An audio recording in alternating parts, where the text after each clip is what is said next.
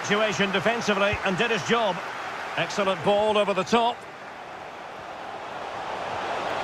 Oh, surely. A goal! And I'll tell you what, on this sort of form, very